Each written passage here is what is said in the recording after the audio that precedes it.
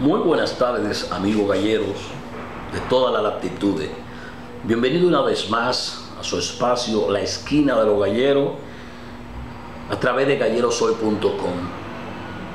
En esta ocasión quisiéramos eh, comenzar felicitando a dos grandes compañeros, amigos galleros de la República Dominicana. Uno no vive en la República Dominicana, uno reside en Suiza, pero ambos son dominicanos, uno del sur y otro de la línea central de la parte norte de la República Dominicana.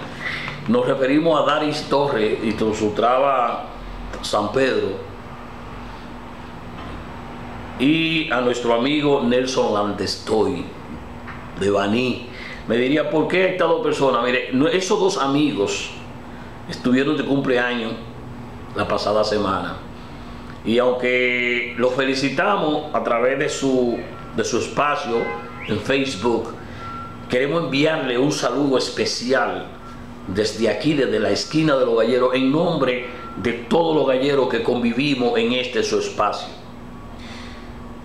Otra persona a la que quisiéramos saludar es al señor Leandro Capellán. El señor Leandro Capellán no es gallero, pero sí nos sigue a diario porque él es eh, uno de los eh, encargados de reproducción del periódico digital digitalgroup.info y cuando aparentemente el señor, el señor Leandro Capellán cuando anda rebuscando encuentra los programas de nosotros y vemos que siempre nos pone algún mensajito e incluso muchas veces lo reproduce en sus páginas de Facebook. Eh, otra persona que quisiéramos saludar es a Efraín F. Ribeiro. Efraín F. Ribeiro es un dominicano que se encuentra fuera de la República Dominicana, pero que tiene su gallo en lo bajo de Jaina. Eh, también a la banca Pedrón PH, queremos saludarlo. Y a nuestro amigo Norman Ariel Bernal, que tanto disfruta cuando oye a Papo decir ensilla la mula.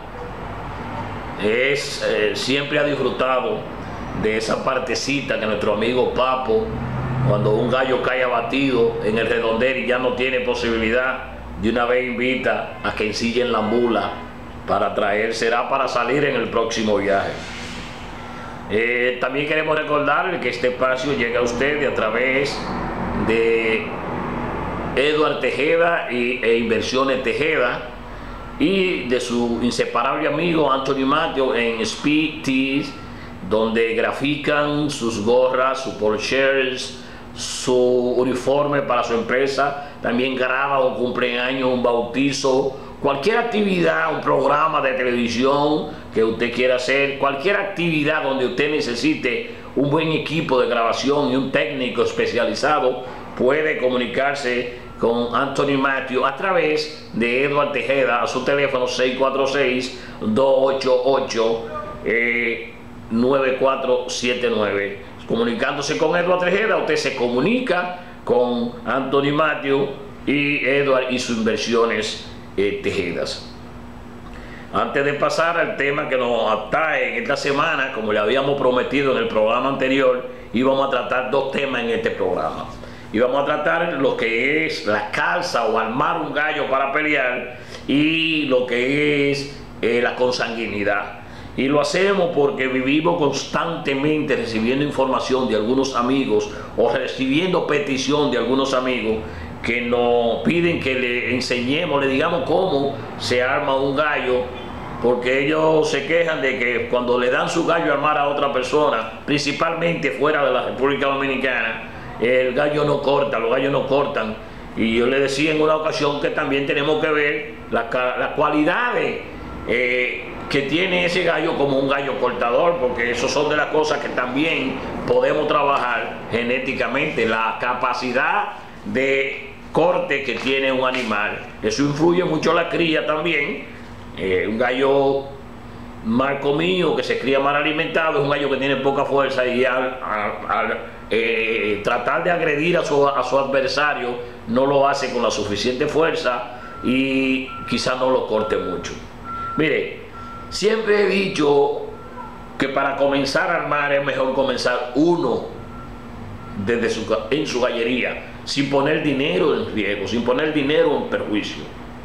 Usted comienza a probar sus propios animales. Si usted quiere, usted mismo lo arma. Y yo estoy seguro que después de cinco o seis formas a veces de armar un gallo, usted va a tener, eh, va a ser un experto armando su gallo. Se usan tres elementos para armar un gallo. Claro, se usa la espuela potiza, se usa, usa tape, pegatrapo, como le llamamos en algunos casos al blanco que utilizamos, que es de tela. Se usa cerote, que es la pega que utilizamos, que cuando la calentamos, la derretimos en la copa de la espuela antes de colocarla directamente al macho del animal, porque así se llama el botón, el macho del animal. Y también utilizamos lo que se llama pecloduro. Pecloduro es un líquido coagulante, coagulante que nosotros le colocamos, eh, inmediatamente cortamos el gallo, o sea, rebajamos el macho para colocar al mismo nivel del cubo de la espuela que tenemos. En la medida que vamos cortando para evitar una hemorragia, le vamos colocando un poco de ese líquido, un líquido eh, amarillo, bien fuerte, bien oscuro, eh, casi marrón que es un anticoagulante, o sea que, perdón, un coagulante, o sea que corta, corta la sangre inmediatamente para que el animal no bote mucha sangre cuando lo estamos armando y no pierda, no pierda, no pierda sangre. Generalmente, cuando uno es pequeño, uno comienza a, armar gallo y lo que hace es que coge la espuela, muchas veces le quedan montadas porque uno no sabe, pero cuando cortamos el gallo debemos estar seguros de que el, cubo de la espuela, la boquilla de la espuela, entre y salga con facilidad. Para que cuando nosotros colocamos el peco duro, el tape y, la cera, él no force mucho el botón del gallo. Muchas veces personas detarran los animales porque sobrecalientan el macho. Al sobrecalentar el macho, ese macho se infecta, se pudre y se cae. Lo que tenemos que hacer es no sobrecalentar el macho y asegurarnos de que la espuela cae y se menea con facilidad antes de colocarle pegatrapo. Una vez tenemos eso, lo que hacemos es que colocamos la espuela sobre el macho, sobre el macho. Muchas personas hacen esto. Este es el macho, entonces el dedo gordo del pie lo abren hacia acá y este dedo del gallo lo abren hacia acá y colocan el macho en dirección a la parte medular, o sea, al tobillo del animal, asegurándose de que quede en esa misma dirección. Cuando queda recto en esa dirección y el peco duro entra, generalmente usted lo que hace es que espera que se enfríe un poco el cerote antes de colocar la cinta. Hay algunos, hay algunos que dicen que su gallo cortan más cuando ellos mueven un chin la espuela hacia el centro o mueven un chin la espuela hacia afuera. Usted como armador generalmente determina en qué posición la espuela su gallo corta más. Y en la posición que su gallo corte más, pues en esa posición usted se mantiene constantemente echando, montando la espuela del animal o calzando la espuela del animal. Si usted tiene ya esa cualidad, probado en la casa, en la gallería, en su traba, en su galpón, usted no va a perder dinero, pero si usted está practicando la forma de cómo armar el gallo para cuando usted va a la gallera, asegurar de que su, dinero está garantizado porque el gallo lo armó usted y quedó bien armado. Porque muchas veces ponemos una persona que no conocemos a que nos arme un gallo, nos calce un, un gallo, pero no conocemos las intenciones de esa persona. Y muchas veces escuchábamos decir en nuestra infancia, ese tipo me, armó el gallo mal para que perdiera. Porque el gallo no cortó, mi gallo cortaba mucho y, me lo armaba una persona y cada vez que lo armaba el gallo cortaba mucho y ahora me lo armó esta persona y el gallo no cortó. Esas son de las cosas que cuando una persona sabe que un animal corta, eh, corta con una espuela en una posición, no debe variar esa posición, debe dejar la espuela en esa posición. Sea que le haya entrado un chin hacia la derecha o que le haya sacado un chin hacia la, perdón, hacia la haya entrado hacia la derecha o sacado hacia la izquierda, pero el gallo corta ahí, ahí déjelo. Porque usted lo está haciendo en su patio, con nosotros decimos con la mona o con dos pollos que lo hayamos descartado, lo ponemos afuera y lo tiramos ahí. Muchas veces esos pollos que nosotros descartamos porque no cogen bien, tienen mala boca, se menean poco, cuando le ponemos afuera y lo tiramos ahí, salen unos criminales. Y entonces ahí no devuelven. Yo no, espérate. Una cosa es con espuela y otra cosa es topando. Muchas veces el animal no da tope, pero cuando lo cortan o se ve con la espuela montada, él sabe en qué está y se vuelve una fiera. Y eso lo va usted también a utilizar cuando expliquemos el siguiente el tema que vamos a explicar sobre es lo que es la consanguinidad. Y yo creo que debemos hacer un, paro antes de caer en el tema de la consanguinidad. Porque es un tema muy, muy discutido. Es un tema muy reclamado por todos los galleros a nivel internacional. Principalmente los lo principiantes, los, los que comienzan. Porque una vez se comienza, ya usted va perdiendo eso y cree que lo logró lo que quería, ya no necesita hacer más nada. Y entonces ahí viene que usted pierde eh, lo que tenía. Y antes de comenzar, quisiéramos decirle a ustedes que este espacio llega también a ustedes gracias a la cortesía de nuestro amigo Jaime Dorley y su traba, la Barranquita y la Canela. Nuestro amigo Jaime Dorley está en la mejor disposición de contribuir a mejorar sus condiciones, a ayudarlo a crear una línea nueva. Solo tiene que ponerse en contacto con él en su página de internet o a su correo electrónico gallodominicano.com o su correo electrónico dorly d o o r l y j hotmail.com Estamos seguros que Jaime Dorley está en las mejores disposiciones de ayudarlo a usted a tener una mejor cría y a tener mejores animales, porque él me comunicó a mí y me dijo que en la misma forma que lo ayudaron a él, él quiere seguir transmitiendo esa ayuda, pero lo hace directamente. Si a usted le venden un gallo que de Jaime Dorley y usted no habló con Jaime Dorley, ese gallo puede hacer que no sea de Jaime Dolly. Por eso a Jaime Dolly le gusta hacer directamente él conversar con las personas que están interesados en tener eh, un animal de su cría. Quizá le vaya hasta mejor que comprándoselo a una persona que haya dicho por ahí que ese animal es de Jaime Dolly. Vamos a pasar a lo que se llama el tema de la consanguinidad. Este tema es, lo hemos tratado en más de una ocasión hemos traído expertos a hablar de ese tema. Pero como es un tema tan complicado y es un tema tan difícil, porque no todo el mundo tiene la paciencia ni la tranquilidad para sentarse 3, 4, 5 años en busca de algo, pero sí hay personas que lo han logrado. Miren, antes de entrar voy a hacerle un par de anécdotas. En una ocasión fui donde mi amigo Marco Bobadilla, de los hermanos Bobadilla, los propietarios de la antigua gallera de los Minas, nuestro amigo Marco Bobadilla tenía un gallo que lo echó en el coliseo y lo tumbaron. Era un gallo para mí extraordinario. Y yo fui donde él a pedirle que me regalara ese gallo para yo iniciar iniciar un programa de obtener ejemplares de ese animal. Me regaló el gallo y yo me senté a trabajar ese animal. El primer año le saqué unos cuantos pollos, salieron regulares, usando la consanguinidad. Al segundo año le saqué unos gallos extraordinarios, subí 17 pollos y con esos 17 pollos se lo dejé a mi papá y mi papá pasó el año entero jugando. Todos hicieron de 4, 5 y hasta 6 peleas en adelante. Con esos 17 pollos no se necesitó más nada. Pero ¿qué sucede? Que como la gente comenzó a ver esos animales, comenzaron a llevarle gallina a mi papá para que mi papá le pusiera la gallina y se la apretara, se le echara. Mi papá comenzó a hacer eso y cuando comienzan a salir los pollos, comienza la gente a regalarle pollo. Y mi papá comienza en ese berenjenal.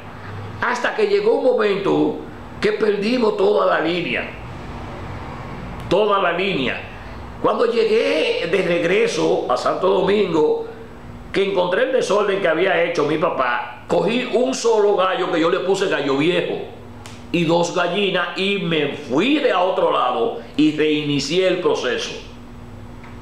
Pero aparentemente el gallo tenía una serie de cualidades fenotípicas que la transmitía excelentemente, pero no pudo transmitirme la característica de gallos cortadores y heridores que tenía su padre. Traté de conseguirla, pero cometí un error. Y el error que cometí fue que comencé por, la, por el padre y no comencé por la madre. En Santo Domingo existió un señor que se trancó cuatro o cinco años en una finca que se llamó CJ a trabajar una línea. Cuando CJ salió a la, a la palestra pública, en menos de dos años ya era uno de los galleros más respetados en la República Dominicana. Lamentablemente murió. Al morir sus animales quedaron dispersos, gente que no sabe el esfuerzo que le pasó, el esfuerzo, y comenzaron a hacer lo mismo, a cruzar esos animales y se perdió lo que era CJ. Y hay muchos todavía que hablan, de, ah, yo tengo una CJ, yo tengo una CJ, yo en mi poder tengo una nieta de una CJ. Pero ya eso quizás no es lo mismo. En el caso de la consanguinidad, usted lo que hace es seleccionar animales de usted que ya usted lo haya trabajado. En caso de que usted no reciba, no tenga animales para trabajarlo y consiga un par de animales nuevos, vamos a llamarle un gallo A y una gallina B. A ese gallo puede tener el nombre de un famoso y esa gallina el nombre de otro famoso que usted lo puede llamar como lo llame, sea de los criadores dominicanos, de los criadores puertorriqueños, de los venezolanos o cualquier criador. Cuando usted coge ese gallo A y esa gallina B, yo recomiendo, porque ya me pasó a mí, iniciar la consanguinidad por la gallina, por la madre. ¿Por qué? Porque hemos sabido y hemos reconocido que la característica genotípica la transmite la gallina y la fenotípica la transmite el gallo. Características fenotípicas son las visibles, color de la pluma, color del plumaje, estatura, posición, forma. Y la genotípica, que es ya la que lleva la información hereditaria, que tiene que ver con bravura, estilo de pelea, eh, forma de cortar del animal, todas esas cosas las da la gallina. Entonces yo preferiría que usted comience por la hembra. Entonces usted se trabaja, se concentra en la gallina para iniciar el inbreeding. Si usted coge una gallina A, perdón, un gallo A y una gallina B, usted lo encierra en en un lugar y se dispone a cogerle animales a esa gallina A, a esa gallina B con ese gallo A. Durante el periodo de ovulación, usted puede coger 3, 4, 5 camadas, pero de esos dos animales solamente. Cuando esos pollos llegan adultos, usted separa las hembras y selecciona la mejor de esas gallinas, las mejores de esa gallina hembra, y la pone ahí al lado y la guarda ahí. Entonces usted coge todos los machos y lo echa a pelear. De todos esos machos que peleó, usted va a coger el mejor de los machos. Entonces, ya en el primer cruce, ya usted hizo el primer, el primer cruce entre dos animales. Usted cogió el mejor de todos esos animales. El que usted se le soñó como el mejor de esos animales. Y usted lo va a regresar a la mamá, a su madre. Cuando usted regresa a ese animal, a su madre, ya ese animal viene donde su madre, con un 50-50. O sea, trae 50% de características de la madre y 50% de características del padre. Al usted regresar de ese pollo a la madre, usted ya daría el paso 2. En ese paso 2 ya usted tiene un cuarto del padre y tres cuartos de la madre. ¿Qué quiere decir eso? Que ya usted está más cerca de la madre que del padre. Y las características que usted busca son las que le da la madre. El padre ya usted está lejos del padre. Pero no, sin embargo, usted sigue separando. Si usted quiere llevar las dos partes al mismo tiempo, pues de la primera que usted sacó, usted coge las mejores pollas y se la coloca al padre original, o sea, al gallo A. Y usted va a tener ese mismo en dos, la misma consanguinidad caminando hacia dos lados. Una acercándose más al padre y el otro acercándose más a la madre. Después que usted ya llega, hace su segundo cruce, ya usted no va a tener un 50-50, ya usted tiene un 75-25. Si cogió la madre, usted tiene un 75% de sanguinidad de la madre y un 25% del padre. Pero si cogió el padre, usted tiene un 75% del padre y un 25% de la madre. Cuando usted se va al cuarto cruce o al tercer cruce, sería primero un 50-50. Segundo, 75-25. Usted se va entonces al tercer cruce. En el tercer cruce, usted sigue con el mejor de esos pollos que usted peleó del segundo cruce y lo trae a la madre otra vez, a la madre original. Después, ya en este tercer cruce, usted tiene, de seguro que usted tiene un 90% de la sangre original de la madre y un 10% del padre. Usted está manteniendo ya casi la línea pura de la madre que usted utilizó. Y si lo hace con el padre, también hace lo mismo. Entonces, ¿qué sucede? Si a mí me interesan para yo competir los resultados que he obtenido con la madre, pues yo me concentro en lo de la madre, pero lo del padre lo mantengo ahí lo mantengo ahí y lo juego también. Pero si yo voy a competir en una competencia, como decimos nosotros, de los grandes, pues yo me llevo los que son, tienen el 90% de sangre de la madre. Y si voy a competir, como decimos nosotros, en el bajo mundo, pues yo me llevo los que tienen el 90% del padre. O sea, yo tengo dos posibilidades de competir. Cuando ya usted pasa el quinto, quinto año, ya las posibilidades son mayores ya usted lo que tiene es un 1 sobre 16 del padre y un 15 sobre 16 de la madre. O sea, casi ya es la sangre de la mamá. Ahí, ya en ese paso, usted puede nombrar esos, esas, esos animales como, como su producto. Si son míos, yo le pondría batita. ¿Cuáles son esos? Ah, no, esos son los batitas como aparecen por ahí los chocolates, los mendietas, los, los pirañas, los arañas, eh, son nombres que la gente le ha puesto. Usted coge un nombre para bautizarlo, lo suyo.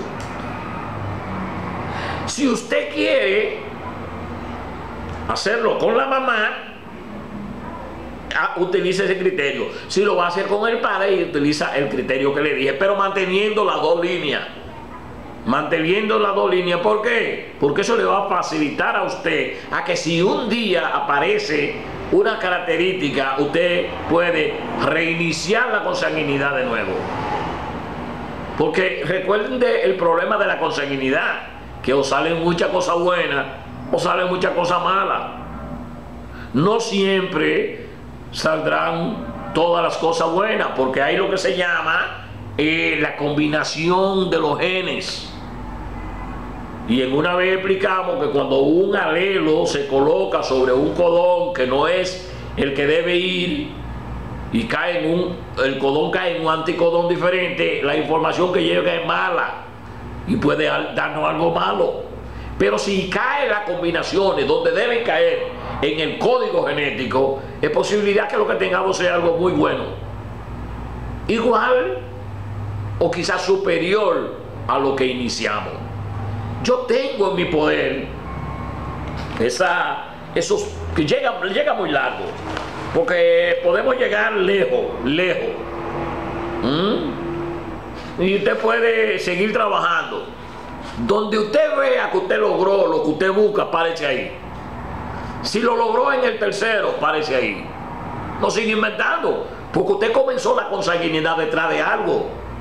Por eso le digo, usted tiene que saber, en la mayoría de los casos usted tiene que saber qué es lo que busca, qué es lo que, qué es lo que usted tenía que quiere recuperar.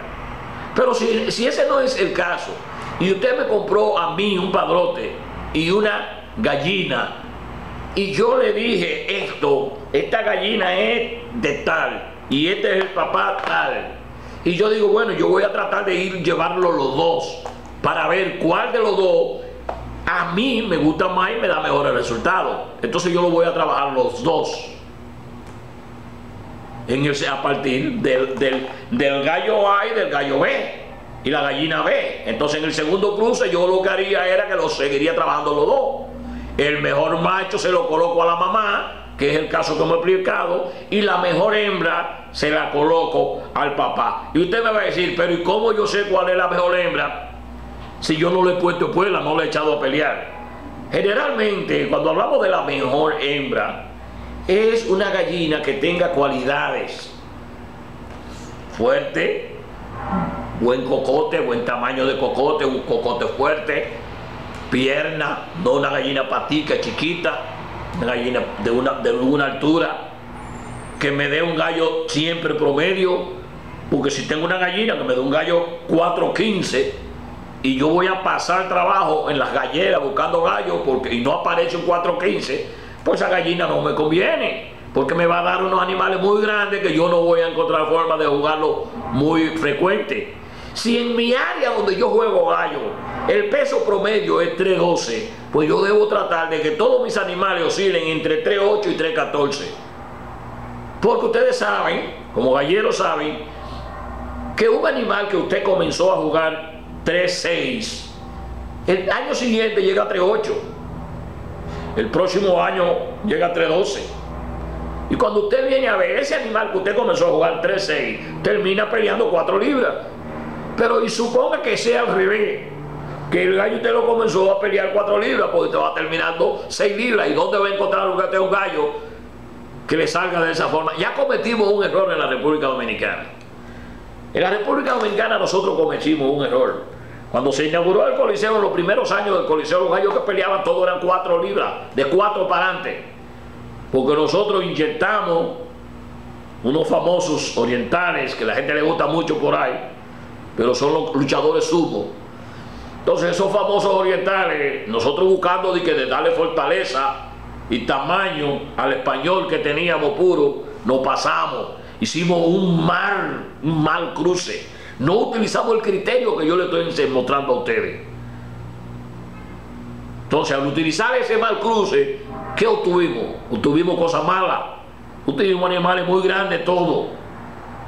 Luchadores. La mayoría de los casos de que lo cortaban salían corriendo. Entonces tuvimos que volver y eliminar todos, esos animales y volver para atrás. Esos pavas que usted ve que están peleando ahora en toda la gallera, eso fue lo que obtuvimos unos gallos pava grandísimos. Porque la pava es característica de gallo oriental, de gallo asil. Entonces nosotros tuvimos unos gallos pava grandísimos. El mismo Marquito Bobadilla subió unos gallos pava, 4 libras, 4, 8. Dentro de ellos había un famoso gallo que nosotros le pusimos Nerón.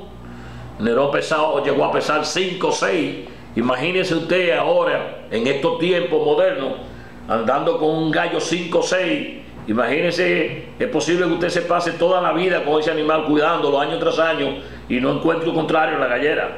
Entonces en eso también debemos, y eso son de las características que nosotros debemos ir fijándonos cuando estamos haciendo esto en inbreeding. Hay características que nosotros no las podemos repetir. Si este me salió demasiado grande, es mi mejor animal. Pero si lo voy a poner, no le puedo poner una gallina grande, tengo como una gallita chiquita que me dé para que compense, para que él le dé el tamaño de él y ella mantenga su bravura. O sea, hay muchas características que son los que nosotros debemos utilizar cuando nosotros no es dedicarnos a cruzar animales. Voy a cruzar y voy a encontrar 20 tipos de animales diferentes. Debemos concentrarnos en algo. Incluso hasta los colores. hasta los colores. Ustedes conocen los gallos caneros de la Traba Bao. Los gallos caneros de la Traba Bao. Tiene varios años concentrado con esos gallos caneros. Ustedes llegaron a conocer los gallinos, los gallinos prietos y ajisecos de Pereyó. Pero llega un momento, llega un momento en que eso se pierde. Los gallinos de José Antonio Gómez, los cenizos Paloma de nuestro ya envejeciente eh, don Mario Fernández Mena. O sea, todos esos gallos son características que se han mantenido, pero que en un momento determinado se pierden. ¿Por qué? Porque nosotros desconocíamos este método. Muchas veces lo conocemos, lo desconocemos, pero no le ponemos asunto, no le ponemos eh, eh, interés. Mira, Ramón tiene una gallina que eso no tiene madre. Eso da apoyo extraordinario. Dile que me la preste, que le voy a poner un gallo. Y entonces yo tengo uno ahí y se lo pongo. Y cuando yo saco un gallo, lo que saco es un vaina. Y entonces digo, no, esa gallina de que la tienen famosa, yo se la cogí prestada y le puse el gallo mío y lo que me dio fue unos manilos. Esa gallina tiene una consanguinidad.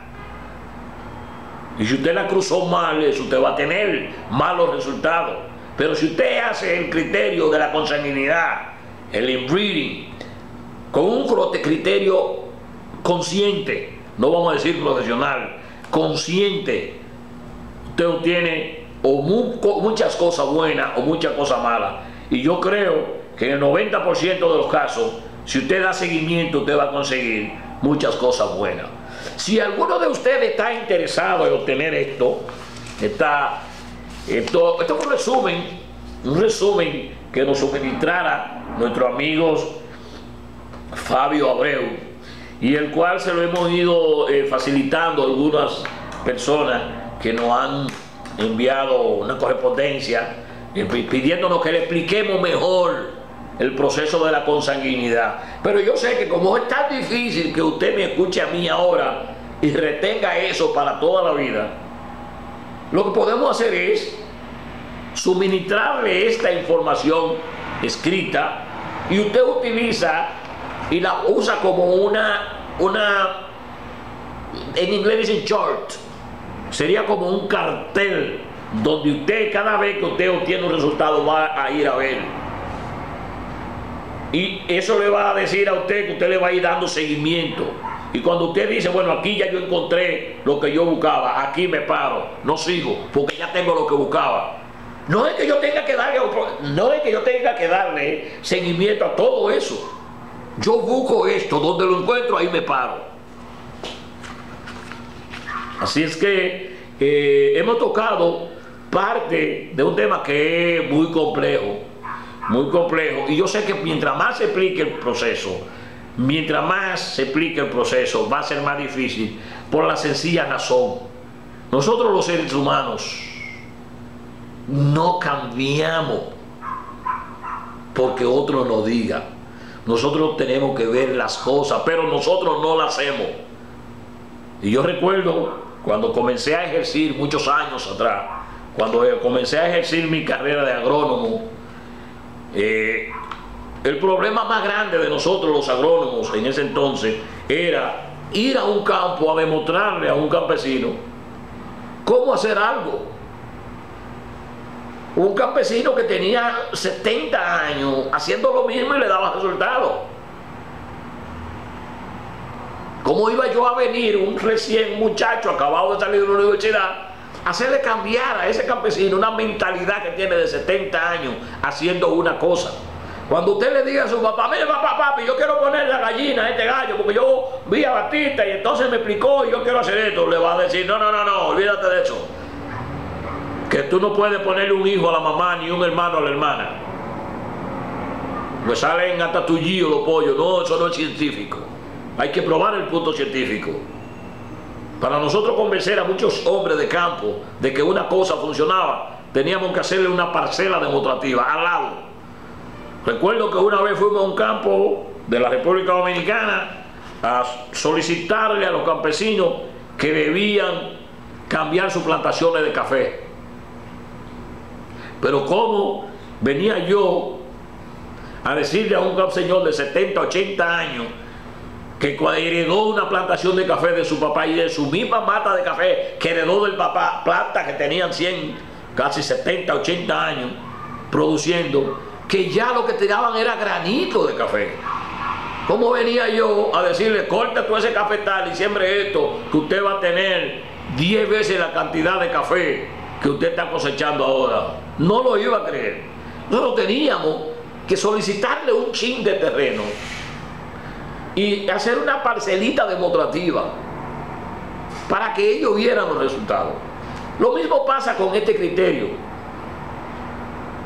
Mi hermano, que tiene mi gallería, tiene mi gallo, cada vez que yo lo llamo para explicarle esto, lo que me dice que, que si yo lo voy a enseñar a él, él tiene, ellos cuántos años, somos de la misma edad y nos criamos juntos, pero él supuestamente dice que es el que sabe todo, que cómo yo decirle a él que, es lo que hay que hacer de un gallo, que él sabe lo que está haciendo. Entonces, muchas veces usted va a mandar a alguien a hacer este proceso y no lo va a hacer. Tiene que hacerlo usted. Para esto no hay que estar sentado ahí todos los días. Recuérdese que entre, entre lo que usted le pone un gallo a la gallina, se tarda nueve meses. Viva usted donde viva, en nueve meses usted ha tenido la oportunidad de ir. Usted va, deja esto montado, sígueme esto, que me voy. A los nueve meses usted regresa y encuentra pollo de nueve meses. Déjame probar ahora, vamos a probar esto. Mira, cógeme este y pónsemelo a, mamá, a la mamá. Olvídate de lo demás, que me voy. En nueve meses más regreso. Topé 15, extraordinario los 15. Ya, sígueme poniendo ese papá a esa gallina no necesita, usted, usted no necesita 40 gallinas. Usted lo que se necesita son 4 o 5 gallinas bien seleccionadas. Y un buen padrote. Usted no necesita tener 100 gallinas poniéndole gallo. Usted selecciona 3, 4, 5 gallinas. Y, y, la coge con un animal. Si usted quiere usarla toda con un solo animal, la puede usar. Recuerde que siempre va a haber una gallina A un gallo A y una gallina B. O llámele gallo, gallo B y gallina A. Pero generalmente le damos el, A al gallo porque usted sabe cómo es, el machismo. Así es que esperamos haber complacido eh, algunos de los amigos que siempre viven llamándonos y poniéndonos correo electrónico sobre que no entienden en realidad cuál es el proceso, aunque lo hemos explicado en varias ocasiones. Si usted todavía no lo entiende, envíeme una nota a mi correo electrónico, está en la página de gallerosoy.com y entonces yo ahí le suministro eh, una copia de este, de este chart, de esta tabla, para que usted le dé seguimiento. Así es que, buenas tardes y esperamos haber eh, complacido nuestros eh, amigos seguidores y recuerden que los gallos nada más hacen tres cosas y una cuarta. Ganar, perder y entablar y correr porque tienen dos patas. Yo espero que usted solo gane lo suyo. A mí no me deje lo de perder, déjeme a mí de entablar. Pasen buenas tardes y hasta la próxima, amigo de la esquina de los galleros.